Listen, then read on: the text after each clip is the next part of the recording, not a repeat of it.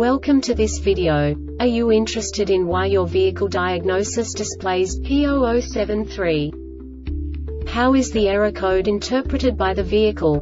What does P0073 mean, or how to correct this fault? Today we will find answers to these questions together. Let's do this. First, let's look at the history of diagnostic fault code composition according to the OBD2 protocol, which is unified for all automakers since 2000.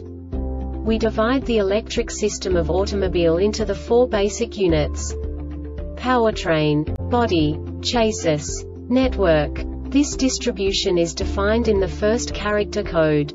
If the second character is expressed as zero, it is a standardized error. In the case of numbers 1, 2, 3 it is a more prestigious expression of the car-specific error. The third character specifies a subset of errors. The distribution shown is valid only for the standardized DTC code. Only the last two characters define the specific fault of the group. Let's not forget that such a division is valid only if the other character code is expressed by the number 0. Our website airbagreset.sk produces useful videos for you.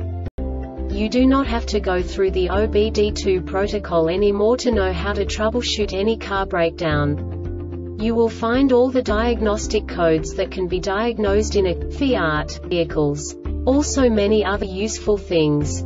The following demonstration will help you look into the world of software for car control units. You unbelievably can move the video a bit further.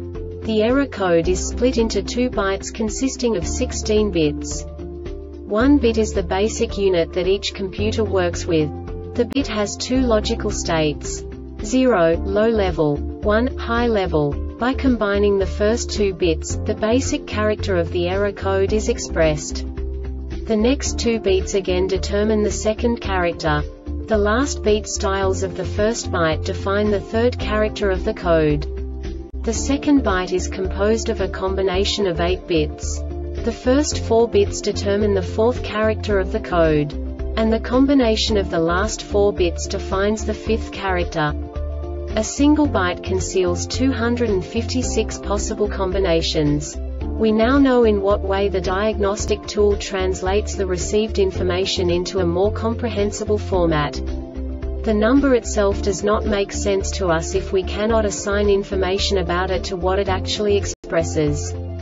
So, what does the diagnostic trouble code P0073 interpret specifically Fiat car manufacturers? The basic definition is ambient air temperature sensor circuit high.